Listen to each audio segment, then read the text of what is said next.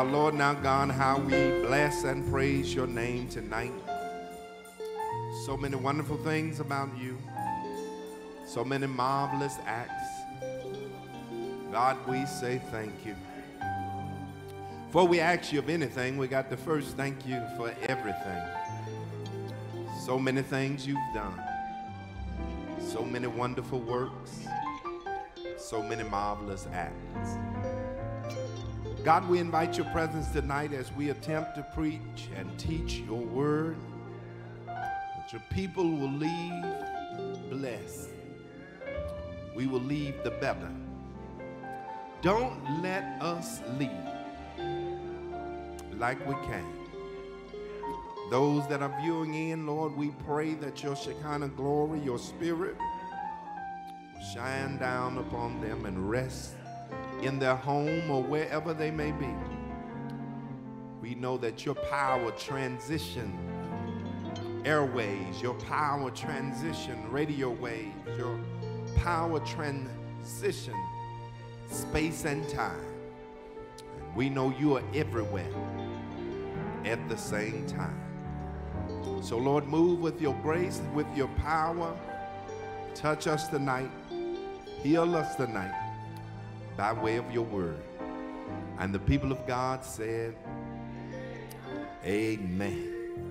Amen. Thank you so much for your presence tonight while you're yet resting on your feet, while you're yet standing. We have a quick scripture we want to invite your attention to. Going to be in another series of messages, and uh, we're going to focus on the teachings of Christ, the teachings of Jesus.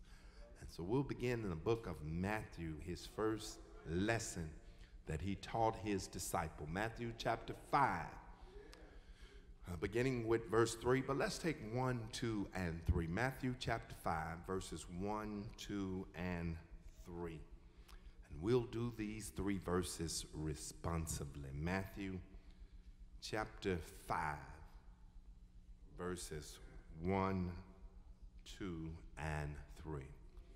And seeing the multitude, he went up into the mountain, and when he was set, his disciples came unto him.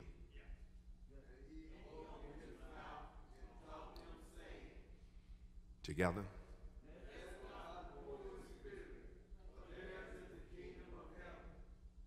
Amen. I want to take text with the subject on how to live a blessed life. How to live a blessed life. One of the things that we keep hearing over and over again, and that is, I'm trying to live my best life. I, I, I want to live my best life. But your best life may not necessarily be a blessed life because you can have materials, you can have things and not be blessed. It has nothing to do with the material, but it has everything to do with the spiritual. And I don't know how y'all feel about it, but I want to live a blessed life. How do we live a blessed life? Is it about saving money? Of course, Scripture declares that money answers all things. There's some things money can do, but money can only go so far. Is it exercising and eating right? And I will tell you, exercising and eating right does make you feel better. I don't know if it'll give you extended life, but uh, the statistics show that if you eat right and exercise, there's a good possibility you'll have extended life. Is it going to church and loving your neighbor and uh, doing the right thing and living righteously? I hold there are some benefits in going to church and living right and loving your neighbor. But is it necessarily a blessed life? Is it necessarily your best life? Because there are many books out now on how to live your best life. And we want to maximize life. We want to get the best out of life. Especially speaking to those of us who are over 50. We, we, we want to max our life. We want to get the best out of our life. So, how do we get there? I shared with the noon Bible study uh, that God is interested in the details of your life. Uh, the book of Leviticus reminds us God is concerned about what we eat, how we dress, and who we hang out with. We want to take control over the details of our lives. And we also want to take control of the direction of our life. But we still want to make it to our destination. And I hold if you're going to get to your destination living your blessed life and best life, you've got to surrender details and directions to God. We just can't do it our way.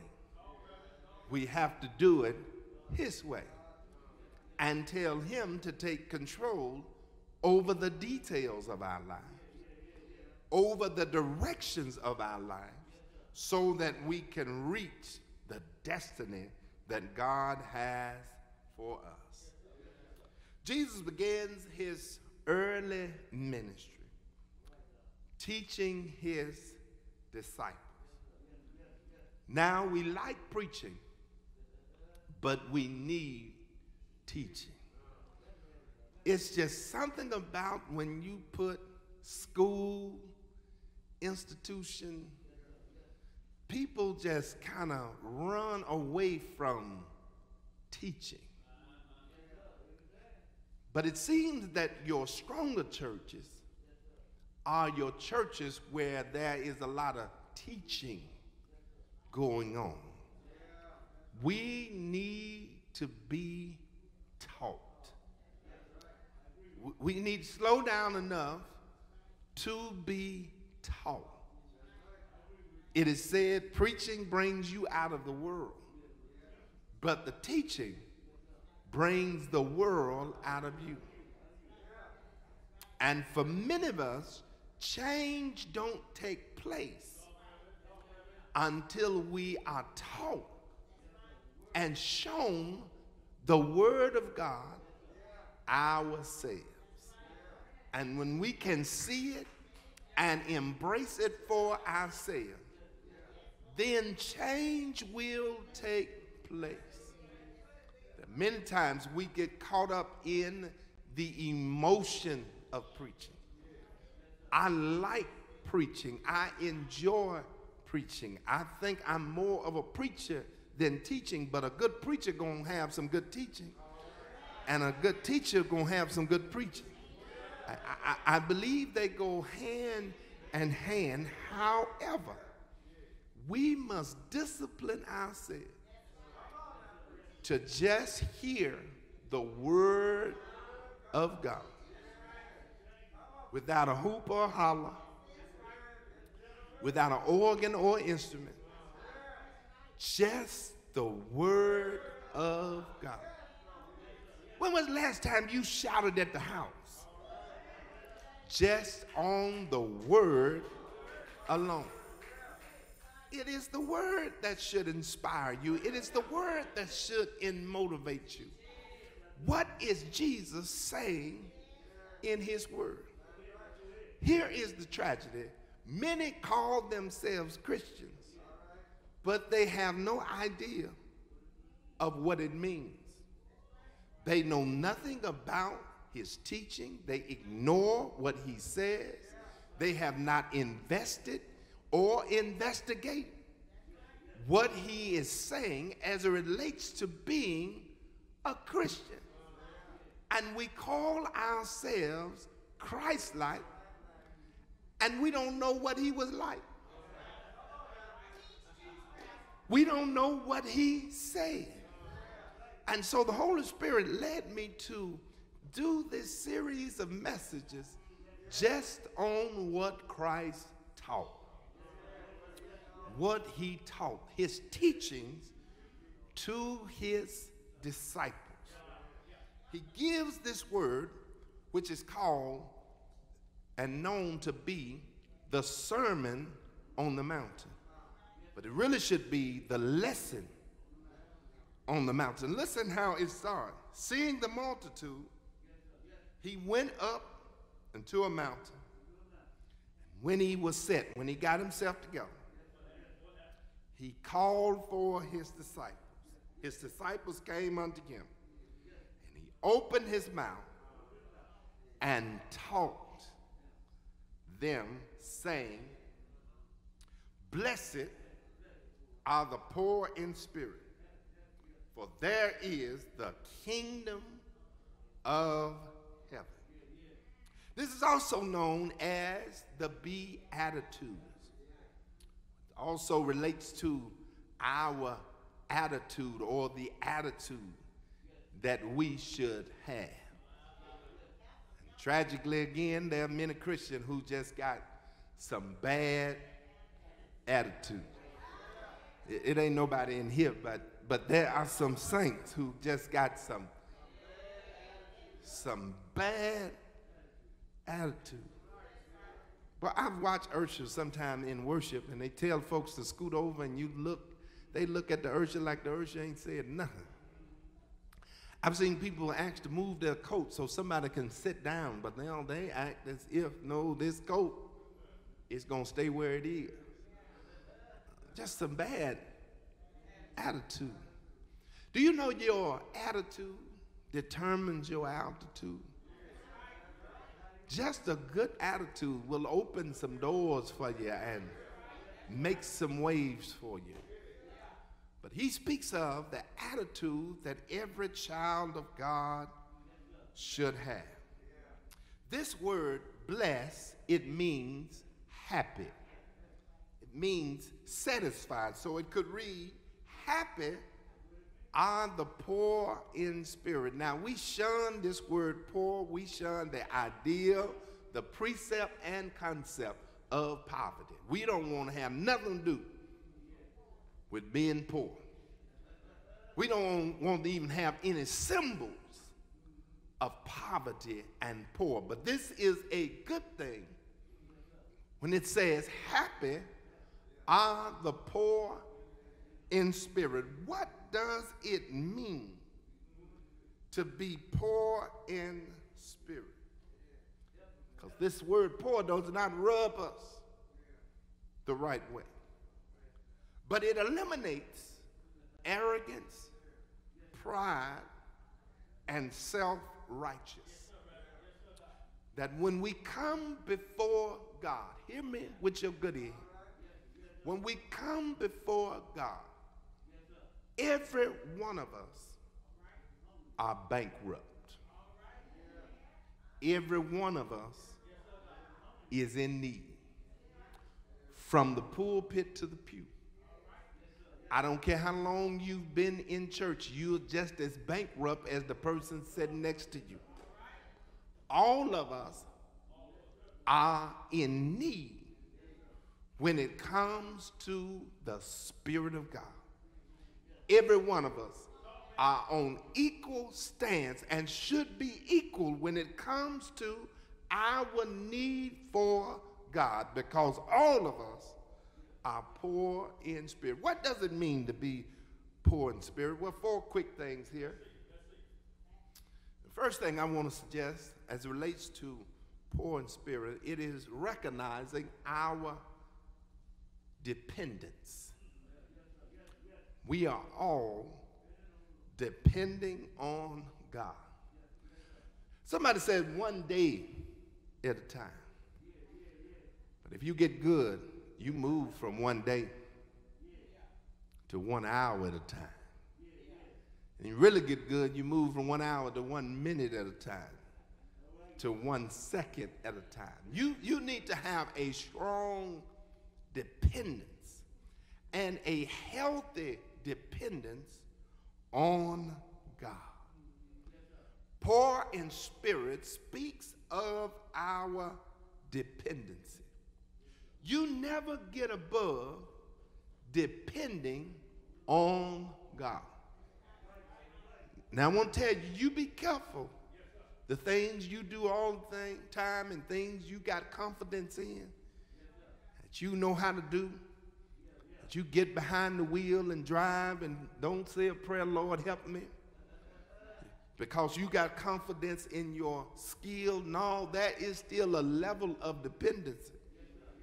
Well, we're asking God, Lord, I need your, your help. When I get on my motorcycle, when I'm putting on my boots and my glove and my helmet, I'm going through a ritual. And my ritual is, Lord, help me. Lead me, guide me, and protect me. Now, I'm riding pretty good now, but I'm not caught up in my own confidence. My confidence is in Him. Even with preaching and teaching. When I come before you all, I never approach this pulpit without time in devotion and time in prayer because I'm not confident in who I am and what I can do. And as many times have I done this, I still need the Lord. You, you, you singers in the house, you male chords in the house. Listen, you whenever you get behind the mic, don't rest in your own strength and in your own power. You need the Lord. There ought to be a strong dependence on the Lord. I got some preachers who who will go amen with this. At times in which you stand up here and you got a good message. You know it's a good message. But you stand on your own strength and on your own power. And you will flunk every time. But on the other hand, sometimes you can have a message that you know ain't that tight, ain't that good, ain't well written, but you give it to the Lord. And the Lord will do wonders when you learn how to lean on him. Boy, I'm trying to teach this, but I feel a, I feel a wheel turning here. If, if, if we shift, we just shift, y'all. I'm, a, I'm going to try to teach it, but I, I've learned how to depend on him. I'm not depending on my job. I'm not depending on my income. I'm not depending on my health. I am depending on the Lord. I wish I had about eight of y'all who know what it means to depend on Him. And the text says, You're in a good place. Happy are those, blessed are those who depend on Him, who have a, a, a poor spirit, but not only the poverty of spirit as relates to this text, but it also, I want to suggest there is a depravity. You recognize your own depravity. You recognize your dependence, but then you recognize your depravity. This word depravity, it means corruption, evil, and perversion. And I know I'm gonna miss some of y'all because some of y'all ain't never did nothing wrong and still ain't messing up. You are a paragon of righteous. You have a sulo halo over your head. You are cousin to an angel. You don't ever mess up do anything wrong, but there is a level of depravity that lives in us. We are naughty by nature.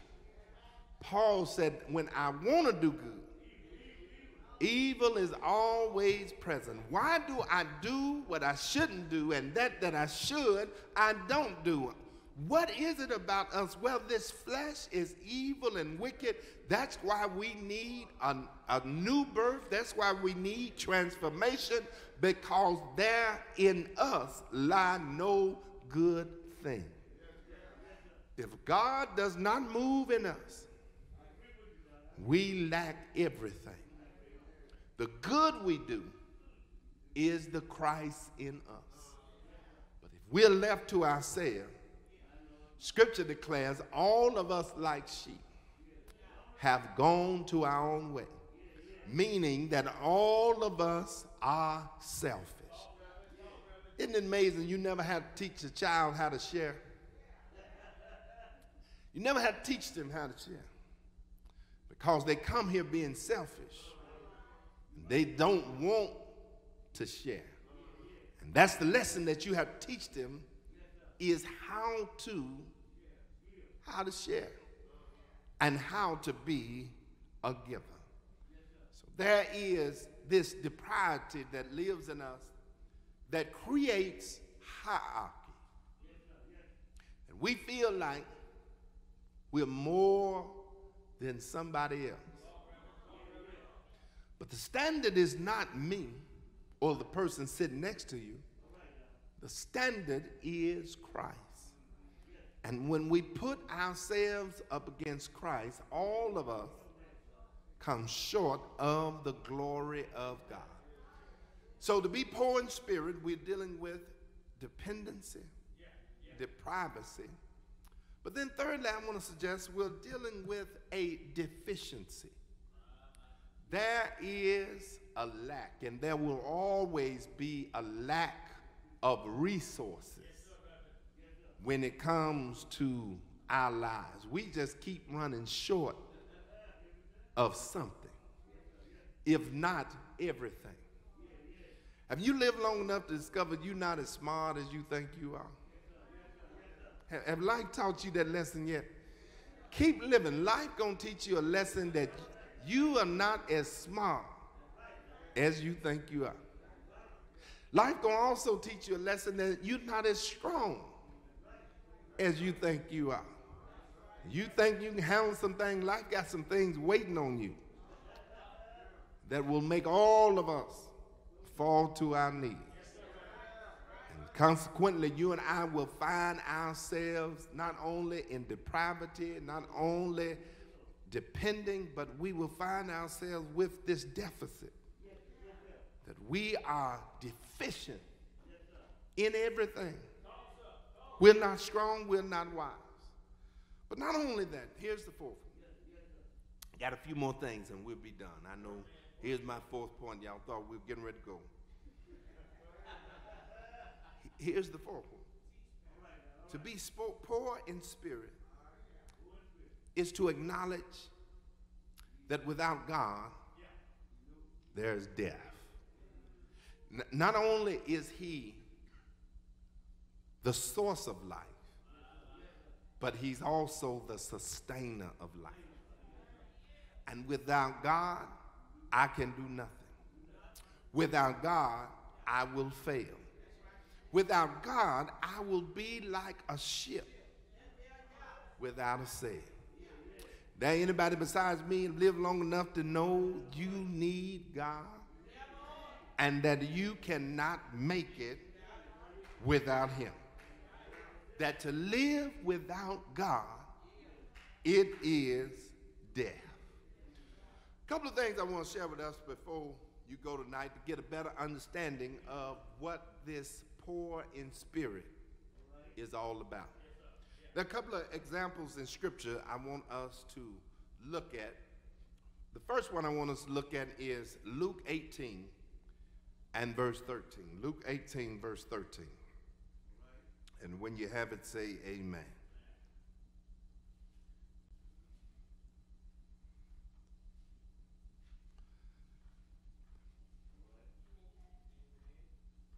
I want to go up to verse verse 10. Two men went up unto the temple to pray. One, a Pharisee. Y'all know who the Pharisee is? That was the religious person. That was the holy person. That was the righteous person. One was a Pharisee, the other was a publican. Y'all know what a publican is, right? That is the sinner. Uh, that is considered to be lower, the lowest of the lowest.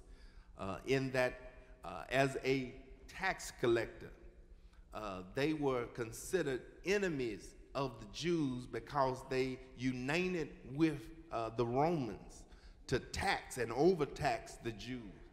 And so they were despised by their own people. They were unlike. So here's this, this publican. And this Pharisee stood and prayed thus with himself. Listen how he prays, y'all. Lord, I thank thee that I am not as other men who are extortioners, unjust, adulterers, and even as this public. I fast twice in a week. I give tithes of all that I possess. But watch what the publican does. He stood afar. He wouldn't even go near the temple. Stood afar, would not lift up so much his eyes, wouldn't lift his head to heaven, but just smirted off his breath, saying, God be merciful unto me, a sinner. Here is a picture of what it means to be poor in spirit. Two prayers here. One prayer says, God, I thank you I'm not like other men. I pay my tithes, I go to church, I sing in the choir. I'm better than he is. I thank God I'm not like. But the publican said, Lord, I just need mercy.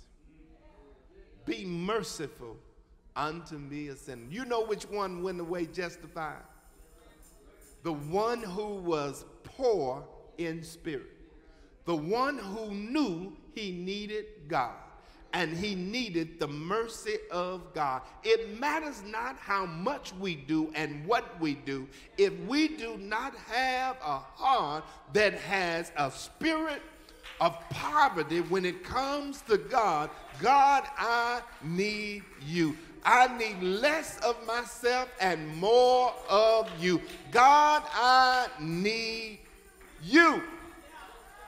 No matter how good I am, no matter what work I do, if I don't recognize that I'm poor in spirit when it comes to God, I need more of God.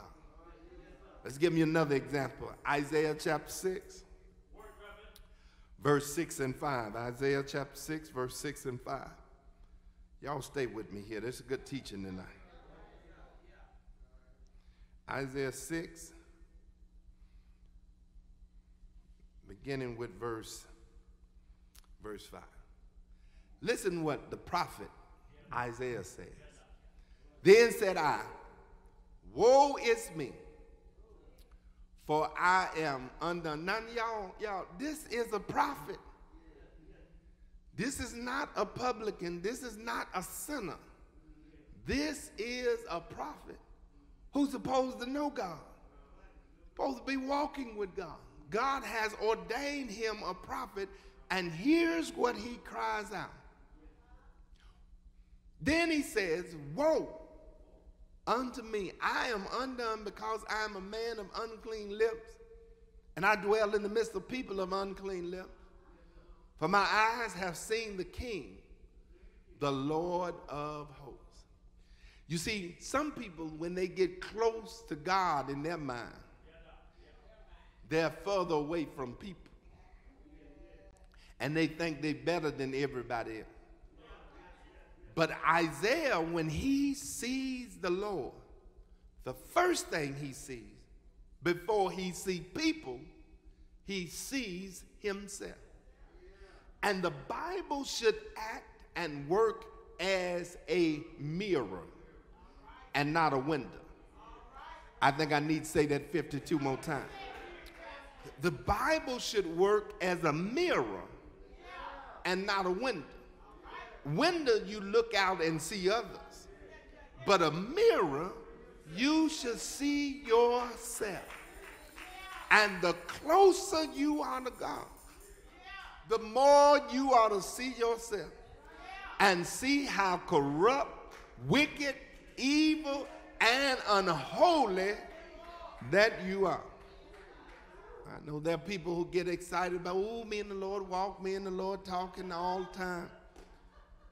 And I know that's, that, that's some joy with that. That's a celebration with that, but there's also a burden with that. Because the closer you get to God, you discover how unholy you are. Especially when you get in the presence of holiness. You discover how unrighteous you are. You get in the presence of righteousness. The closer you get to God, the more you ought to see yourself. This Bible study and this teaching is self evaluation but you know what we do when we, we at worship and when we're at church and Bible study, we be saying, ooh, so-and-so need to hear this. I'm going to get the CD, I'm going to get that, and I'm going to make sure that they get that message because they need to hear. No, you need to hear. And see how it fits in your life. And be the change that you want to see. Amen, somebody. So Isaiah sees himself, then he sees other people. And he cries out, Woe is me, because he's in the presence of the Lord. Here's another example. Go to Job chapter 42. Job chapter 42, beginning with verse 5. Job 42. and 5. Y'all stay with me. we're almost done. I've heard of thee by the hearing of the ear, but now my eyes have seen, see thee. Verse 6. Verse 6 is what we want. Wherefore I abhorred myself and repent in dust and ashes. Look at what Job says. Y'all got to remember how this story, this narrative began. Job chapter 1, we get Job is the, the most righteous, perfect man in all of Uz. But look how, after what he went through, what he discovered about himself. He saw himself and he had to repent. Y'all do know Job cursed the day that he was born. Job questioned God. Job wanted to call God into cosmic court, and he had some words for God. Because the theology was that if you live right and do right, trouble wasn't supposed to come. And so Job is wrestling with why is all of this happening to me? And if I can only find God, and if God can only answer. But after he went through his storm, not only did he experience a, a storm, but he saw himself and saw his own treachery and wickedness and downfall. Here's last an example here. Luke chapter 5, verse 8. Luke chapter 5, verse, verse 8. And when Simon Peter saw it, he fell down at Jesus' knees, saying, Depart from me. I am a sinful man, O Lord. Y'all know the narrative, the story that's happening here. They had toiled all night fishing, couldn't get any fish. Jesus says, Cast your nets on the other side. We don't get what was in Peter's mind, but from, from his repentance here, Peter kind of did one of our numbers. I don't know what the Lord telling me to do this for. We know how to fish. We've been fishing all night, and this carpenter by trade. We are fishermen by trade. He's a carpenter, and he want to tell us how to fish. We don't get all that from Peter. This, this is me hop rising because based upon his confession, he had need to repent when all the fish came up. He had need to repent. And if you look closely, the Lord says, cast your nets. There's an S on nets. But when Peter cast, there's just a net. There's no S on that. There's no plurals of net. So Peter was reluctant to do what the Lord says. And that's where we get this word, nevertheless. It's your word. I got issues with what you're saying, but nevertheless.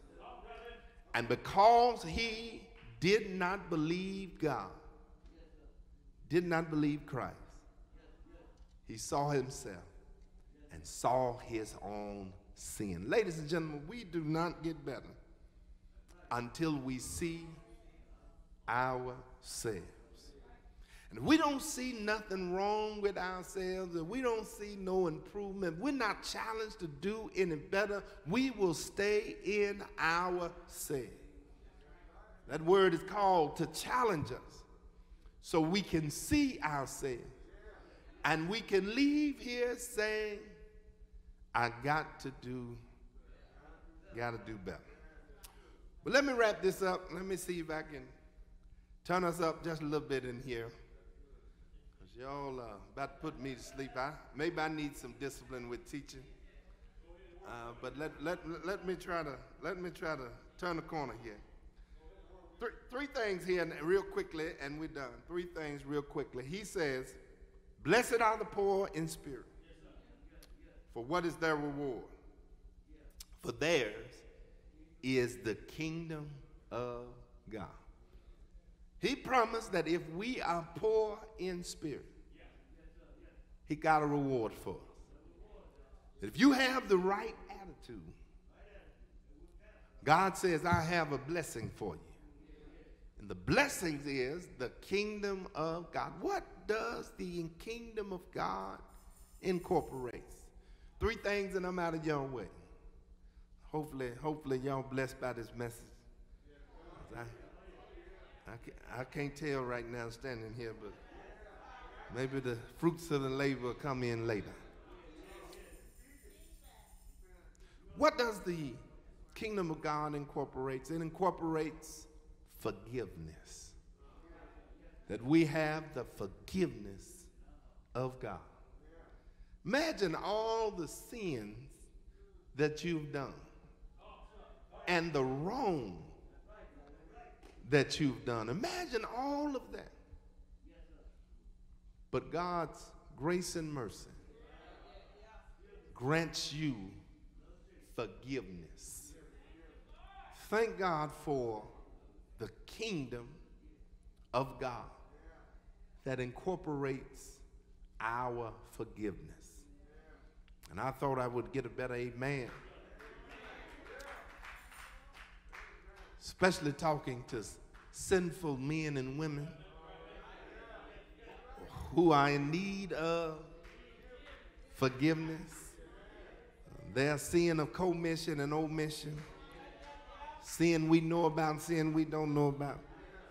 God has granted us forgiveness. But then, not only forgiveness, the kingdom incorporates fellowship.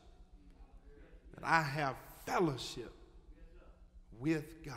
God has promised fellowship.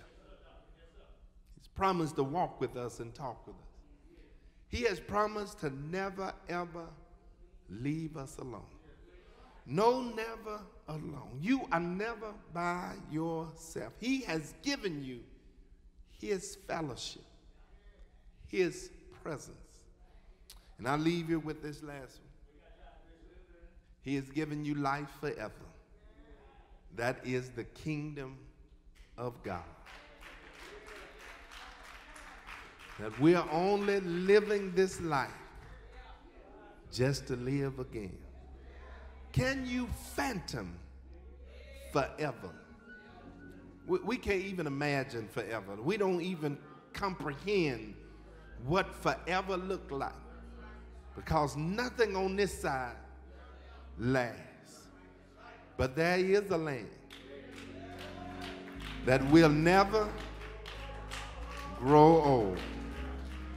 And a thousand years will be as one day, and one day will be as a thousand years. I'm on my way to that kingdom. Is there anybody on your way to that kingdom? Blessed are the poor in spirit, for theirs is the kingdom of God. And the people of God said, Amen. Amen. Amen.